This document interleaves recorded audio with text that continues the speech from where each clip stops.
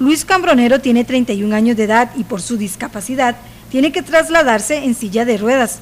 Este generaleño adquirió la discapacidad a los 20 años de edad, luego de tirarse a una poza donde se le fracturó la cervical. Precisamente Luis forma parte del movimiento de vida independiente Proyecto Morfo en Pérez Celedón. La experiencia que vive este grupo la compartió en el segundo Foro Internacional sobre Debate para Jóvenes Universitarios, donde participó el Instituto Interamericano sobre Discapacidad y Desarrollo Inclusivo.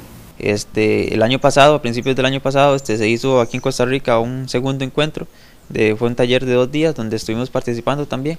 Y este, esta vez eh, el, el, segundo encuentro se hizo en Montevideo, Uruguay, donde participamos 30 jóvenes de, de seis eh, países latinoamericanos eh, precisamente ya con, con, el fin de darle forma a esta red latinoamericana y comenzar a trabajar en proyectos en conjunto.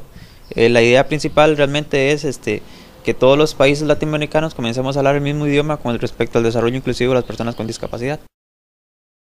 La actividad duró dos días donde cada uno de los participantes dio a conocer la forma en que se involucran a las personas con capacidades especiales.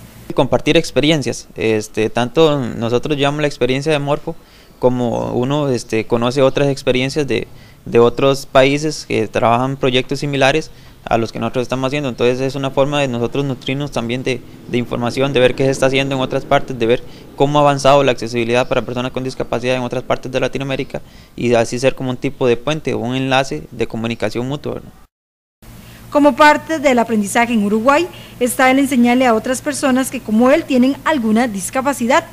Para ello se trabajan capacitaciones de manera virtual. Prácticamente que se basó el trabajo fue precisamente en eso, en dar un, una forma realmente más estructurada a lo que es la red y comenzar a trabajar en proyectos en conjunto. Un proyecto que se, que se viene manejando es un tipo de capacitación virtual en el cual este, todos los participantes que estuvimos en, en ese encuentro podamos este, dar capacitaciones o asesorar a instituciones o a personas con discapacidad, eh, básicamente en, en el mismo tema, ¿verdad?